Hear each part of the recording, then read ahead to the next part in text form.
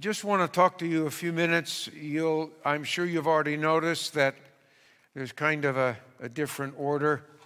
Uh, I wish I could say that I had great hope that we'll be able to go back to uh, less than a virtual hug uh, before the first of the year, but who knows? But until we can and until we do, I, we're going to enjoy this venue and being online as, as much as we can. And I want all of you to do your missionary work. Uh, we are not only live here in this room, but we are live on our webpage on Church Online.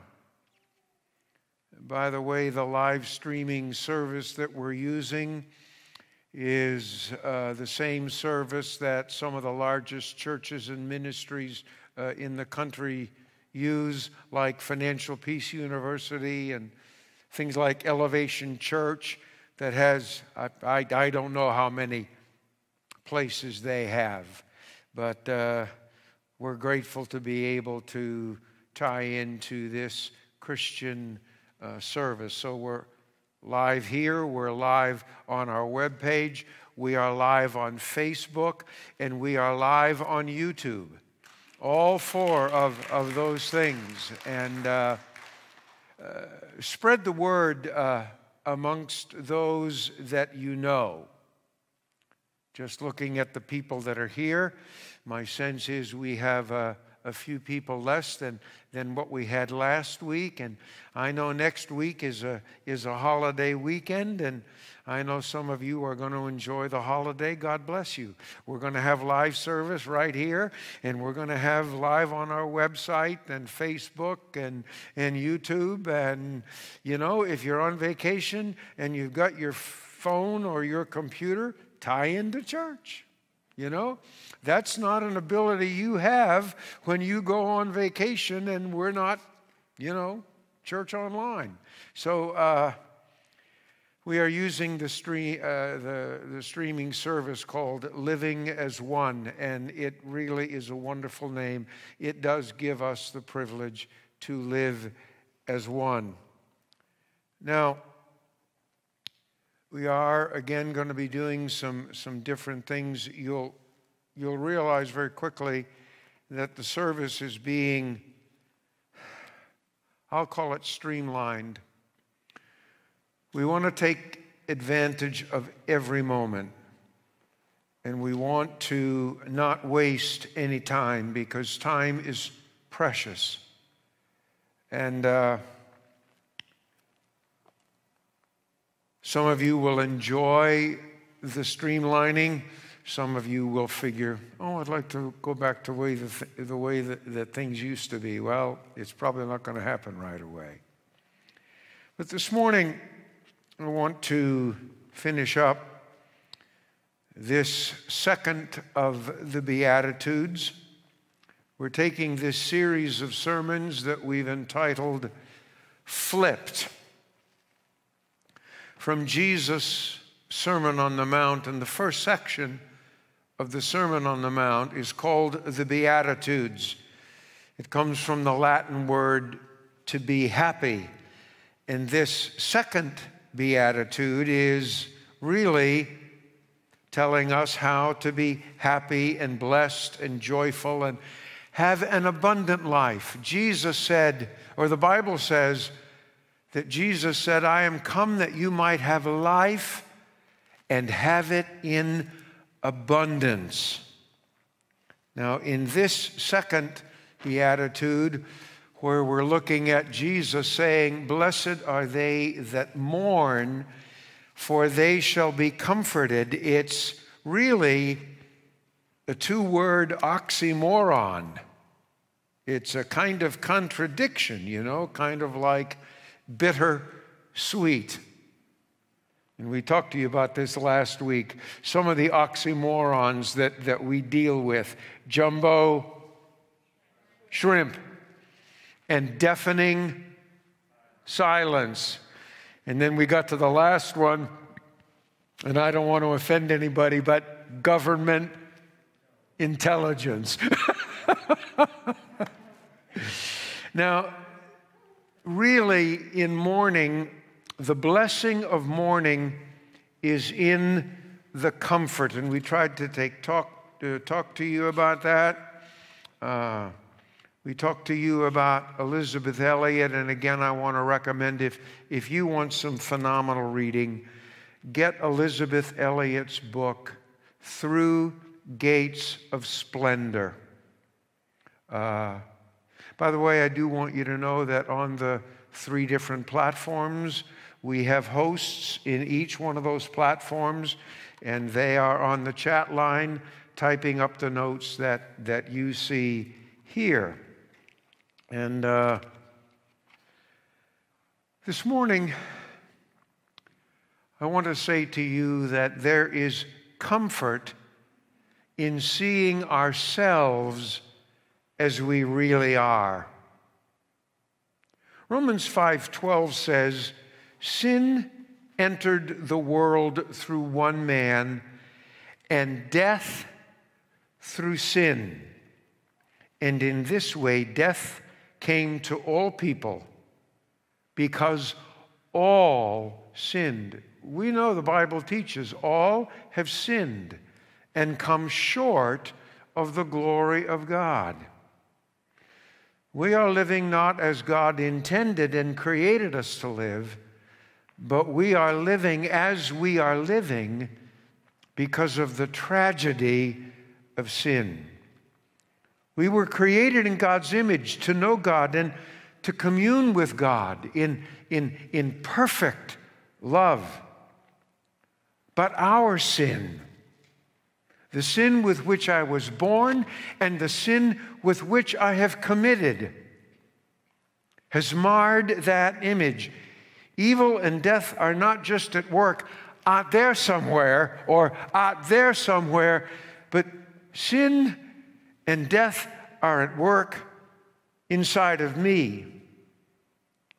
And in mourning, we give ourselves the opportunity to linger on the effects of our sin on others, including God. How often have we talked about that when we see the cross, it just it's not just a tragedy because of whatever anybody else did, but the cross is a tragedy because it was my sin, not yours. It, me, Ron Bailey, my sin that put him there. Suffering and mourning should draw our attention to the ugliness of sin and its poisonous effects. We mourn the presence, the prevalence, and the power of sin in me. Like the old spiritual says, it's me. It's me, O Lord, standing in the need of prayer. Not my mother, not my father, not my sister, but it's me, O Lord, standing in the need of prayer. Now, there's a story in the Old Testament about David. He had a rebellious son by the name of Absalom. And Absalom drove David out of Jerusalem. And the Bible says David continued up the Mount of Olives, weeping as he went. His head was covered and he was barefoot.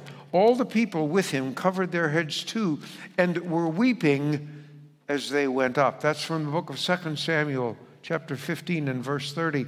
Covering their heads and weeping and, and, and going barefoot were all demonstrations of repentance. Was this tragedy of David being driven out of Jerusalem by his rebellious son the result of the sin of every person who had their head covered and were barefoot and were hunched over and, and, and weeping? No.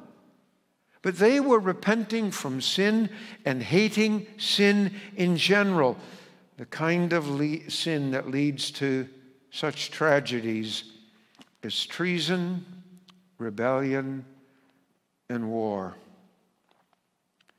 You know, I want to share with you from Matthew chapter 7. Uh, this is still part of the Sermon on the Mount. It says, Do not judge, or you too will be judged. For in the same way you judge others, you will be judged, and with measure you use, it will be measured to you. Why do you look at the speck of sawdust in your brother's eye and pay no attention to the plank in your own eye? How can you say to your brother, Let me take the speck out of your eye, when all the time there is a plank in your own eye? You hypocrite, first take the plank out of your own eye, and then you will see clearly to remove the speck from your brother's eye. I wouldn't be telling you the truth if I didn't tell you that I'm grieving.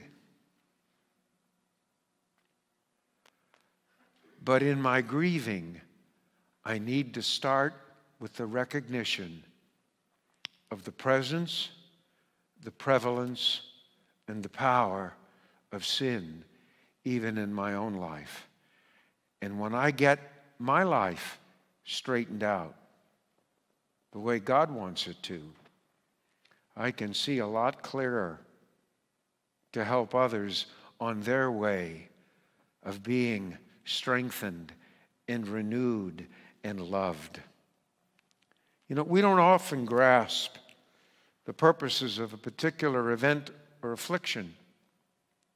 But we do understand that suffering exists because evil exists.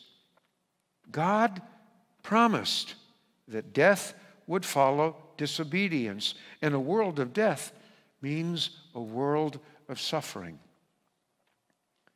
Suffering as the consequence of sin points us back to sin's ugliness.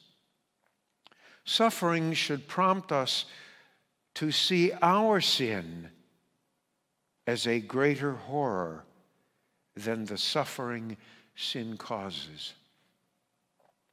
Sin does not directly cause all of our suffering.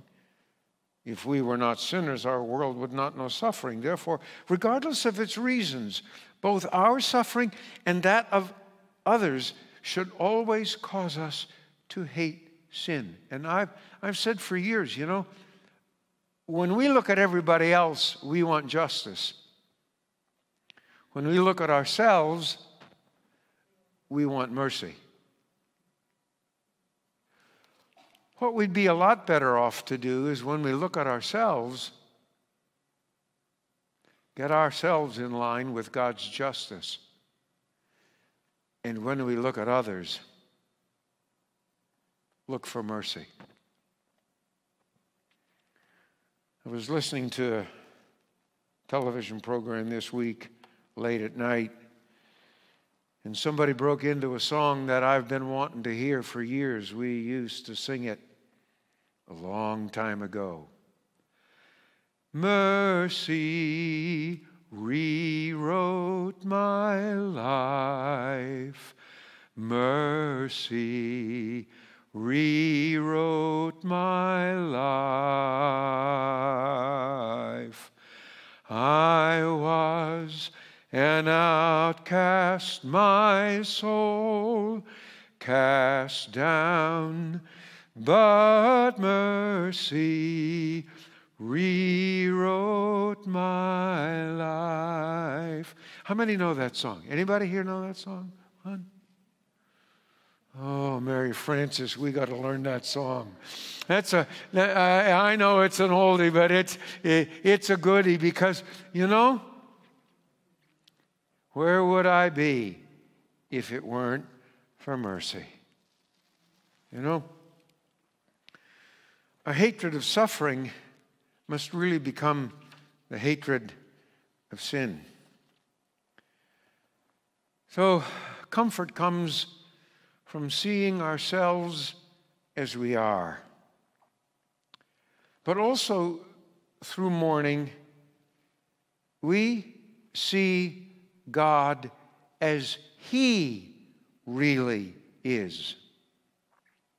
Genesis 6 6 says, So the Lord was sorry he ever made them and put them on the earth. Sin broke the heart of God. Now, I, I know as parents, we have a measure of, of understanding. You know, I, I know when our kids mess up, oh, it's easy to get mad. And when we're done getting mad and done getting frustrated, what do we do? We fall on our knees and we mourn for the hurt and the pain that our kids have gone through. Yep, maybe they chose, maybe they didn't. Maybe it was their fault, maybe it wasn't. But we can understand a measure that through mourning, we can see God as He really is. Sin broke the heart of God. I don't think that that's something that can I almost say, in the evolvement of, of the gospel message. I'm, I'm not saying that we should, oh, go back to the old days of railing against everybody's sin and everybody's wickedness and shouting and, and, and screaming at them and, you know, like two kids that were in a library and they were uh, stand, uh, sitting there trying to read a book and couple of tables away, there were a couple of other students reading a book that they ought not to read. And these two Christians stood up and at the top of their lungs in a, in a uh, uh, library yelled at the top of their lungs, Sinners, repent! And I'm, I'm not saying we should go back to that. All that does is promote hate. But I am saying we need to recognize and see God as He really is. Sin broke his heart. In the Old Testament, the effect of the nation of Israel's rebellion and rejection of God was to break God's heart. Look, look at the New Testament.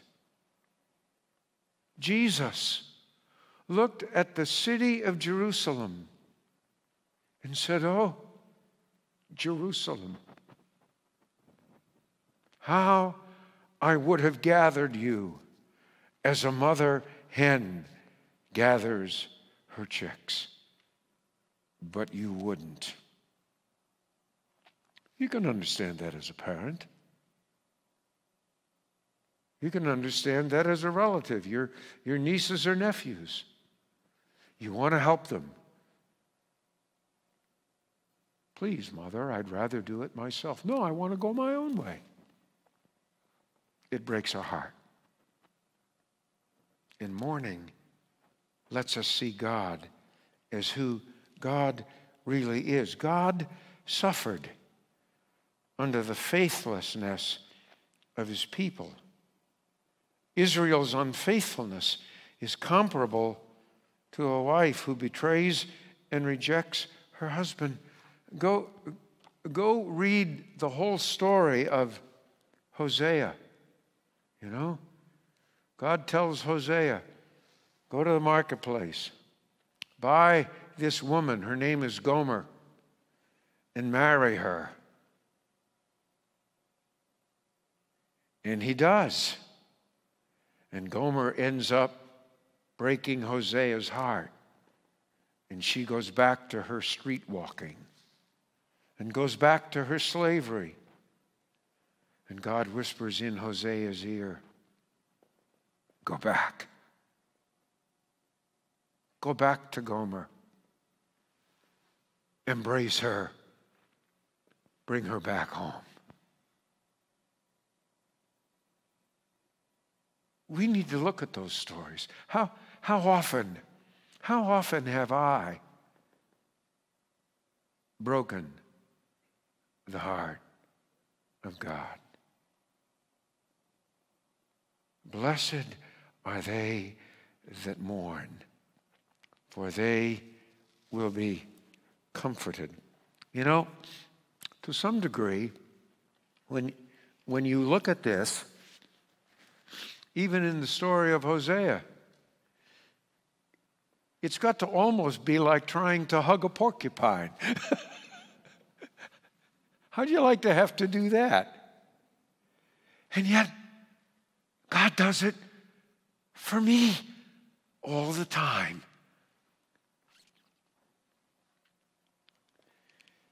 We don't understand all the reasons why a good God allows suffering and, and evil to continue.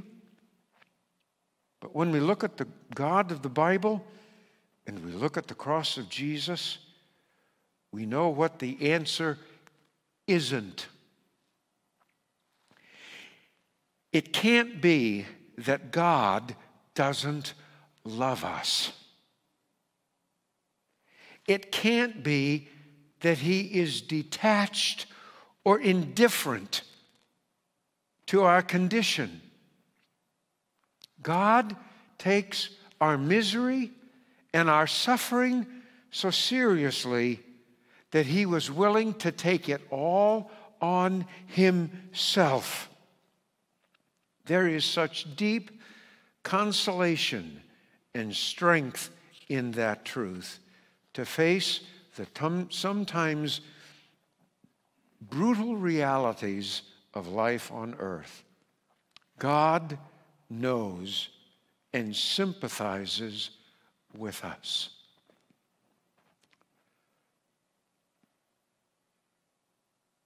It does matter who you are, but no matter who you are, God really does feel your pain. He understands and knows the pain of divorce. I've talked to you about this at one of the recent communion celebrations. Sitting there at the Last Supper, and he said, Somebody's going to betray me the one that puts his hand in the bowl with me. Here he is ready to die for not just the 12, but for the whole world. And there's one in that select group of 12 that's going to go out and hang themselves. Does Jesus know the pain of divorce? Oh, yes. Rejection, abandonment, grief. We serve a God who fully understands the pain of a broken heart. Psalm 143, uh, 4, 147, 3 says, The Lord heals the brokenhearted and bandages their wounds. We know God heals physically. And let me say clearly, physical healing is for today. The age of miracles is not over. When will the age of miracles be over? When we are translated into the kingdom of heaven. Then and only then will the age of miracles and healings and all the other gifts of the Spirit be over because they will not be needed anymore. We know God heals physically but he also heals us emotionally. Isaiah 53 5. By his wounds we are healed. I want to say to you in time, God will heal your broken heart. I'm not saying there won't be a scar. I've got a scar none of you will ever see. As a kid of, I don't know, seven, eight, year, eight nine years old, I was delivering papers and I was on my collecting route and I saw one little sapling grow up like this and I saw another sapling grow up and go like this. And I thought, oh, I'm just going to take a rest and brace myself between the two. So I'm up there as a little eight year old kid and I'm just looking all around and all of a sudden I heard snap. And I was standing on the ground. That tree that went this way I didn't realize it was dead and it broke off. And I had this weirdest feeling in my stomach, and I had this pain in my leg right here. And my hand went in, and then I really got scared. And I, I, I made it home, and you know, my parents looked, and, and there was a, a gash about that big and about that wide, and boy, there was a whole gouge taken out of my hip. You know, I can scratch that thing and it don't hurt anymore. It doesn't hurt a bit. Oh, there's a scar there, but it doesn't hurt. When your heart is broken, there's going to be a scar. And a scar is a visible reminder of the wound and a testimony to God's healing. God showed his scars to Thomas as a testimony to his victory over death.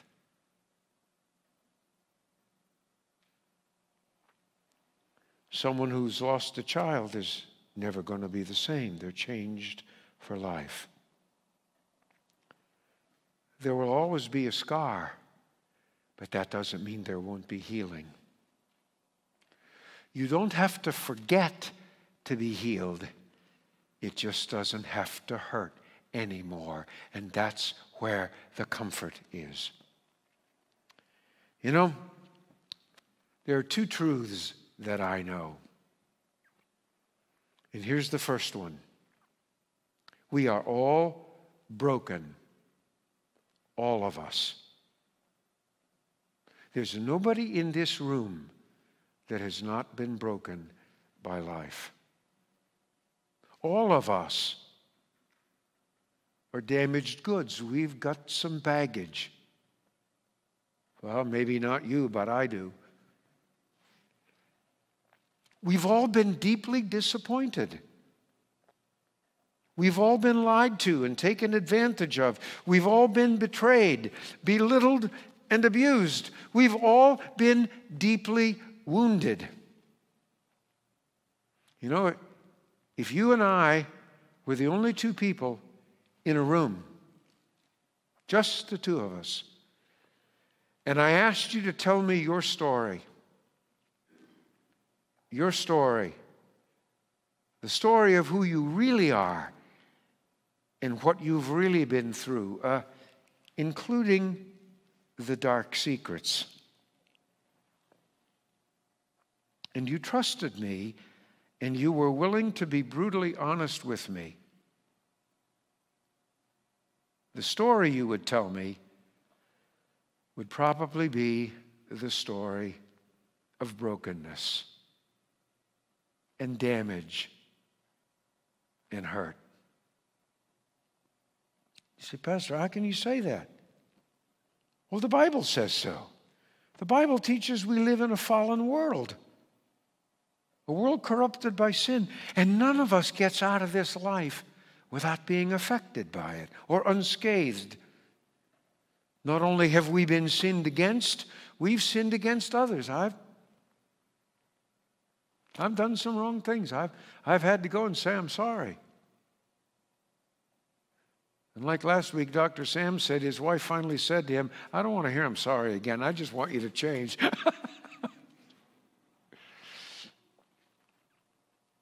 The second truth is this we all may be damaged, but the second truth is you are loved. God is love. Red and yellow, black and white, they are precious in His sight. Jesus loves the little children of the world. And in, in God's eyes, we're all little children. Oh, I know we want to be, you know.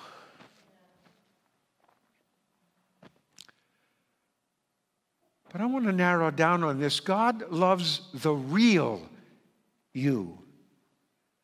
Not just the you that freshens up for church, you know, puts on nice clothes, makes sure they're cleaned and ironed and pressed. And how are you? Oh, great. How are you? God loves the broken you. God loves the dysfunctional you. God loves the addicted you. God loves the compulsive you. God loves the secret you. Do you think He doesn't see? He still loves you. What can separate us from the love of God? Nothing. Height, depth, things present, things to come, the past, the future. Nothing. God loves the real you. God loves you right here, right now, exactly as you are at this moment. I'm not saying, you know, I don't need to make changes or, or you don't need to make changes. I'm just saying God loves you right the way you are. And when you become a Christian, the Holy Spirit begins the long, patient process of applying the healing medicine of His love to your heart. Romans 5 5. For we know how dearly God loves us because He has given us the Holy Spirit to fill our hearts with His love. I want to tell you a story that's a really old story, really before my time. But I ran across this illustration and it just fits so perfectly. In a book entitled How to Stop Worrying and Start Living, Dale Carnegie published a book in 1948. He tells of a woman called Mary Cushman who learned this important truth that God loves you just as you are. The depression of the 1930s all but devastated Mary's family. Her husband's paycheck shrank to $18 a week. Since he was ill, there were many weeks he didn't earn even that much. Mary began to take in laundry and ironing. She dressed her five kids with Salvation Army clothing. At one point, the local grocer to whom they owed $50 accused her 11 year old son of stealing. That was all Mary could take. Mary said, I couldn't see any hope. I shut off my washing machine, took my little five year old girl into the bedroom plugged up the windows with paper and rags. I turned on the gas heater. We had one bedroom, and I didn't light it. As I lay down on the bed with my daughter beside me, she said, Mommy, this is funny. We just got up a little while ago.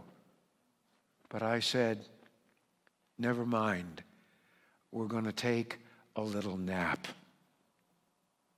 Then I closed my eyes, listening to the gas escape from the heater.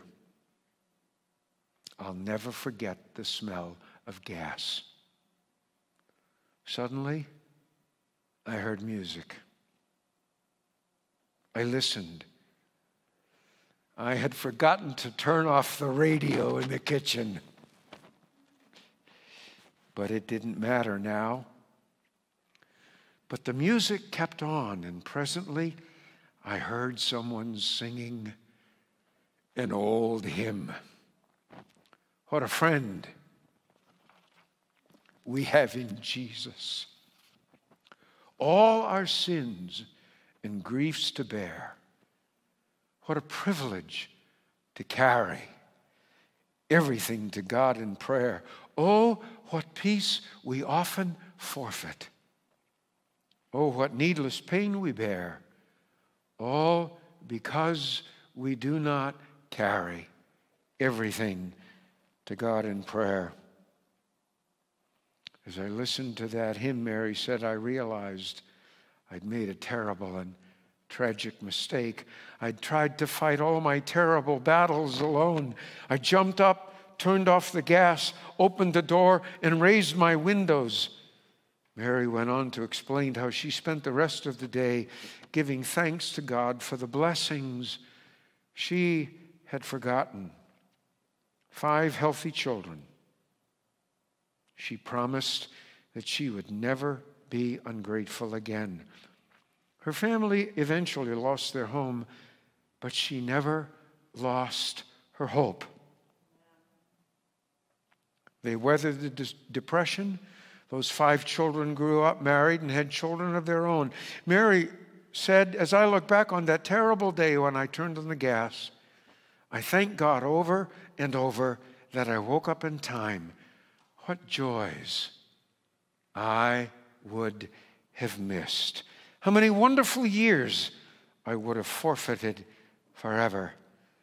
Whenever I hear now of someone who wants to end their life, I feel like crying out, Don't do it. Don't do it. Don't do it. The blackest moments we live through can only last a little time, and then comes the future. You know, we sang a song last night or last week. This is how I fight my battle. And when you read the text of the song beyond, This is how I fight my battle, I'm convinced it's taken uh, from the story of the prophet whose servant said to him, Oh Lord, look at all the enemies that are gathered up on the hill around us. And the prophet said, Oh Lord, open the young man's eyes and suddenly the young man opened his eyes and said to the prophet, Whoa, wow, those that are with us are more than those that be with them. Hallelujah. And I want to pray for us. Lord, open our eyes. Let us see that in the morning comes joy. There's probably not anybody in here that's not been tempted to give up. Please don't. Never, ever, ever give up.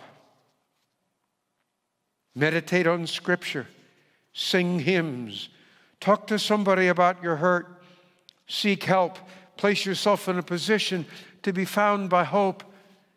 Weeping comes, and there will be weeping, there will be mourning, but let it help you to see who God really is, and that in the morning, in the morning comes joy.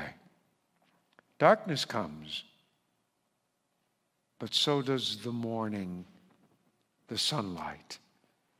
Sadness comes, but so does hope. Sorrow may have the night, but it we cannot let it have our life. Psalm 30, verse 5 says, Weeping may last through the night, but joy comes in the morning. Blessed are they that mourn, for they will be comforted.